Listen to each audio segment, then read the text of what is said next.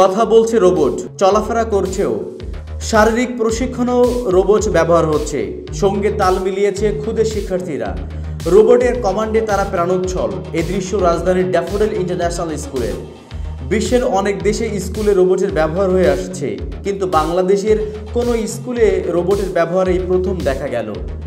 School কর্তৃপক্ষ জানায়, সম্প্রতি চীন থেকে তিনটি রোবট আনা হয় স্কুলটির সায়েন্স, টেকনোলজি ও ম্যাথমেটিক্স ল্যাবের জন্য। প্রত্যেক রোবটের দাম পড়েছে এক লাখ টাকা।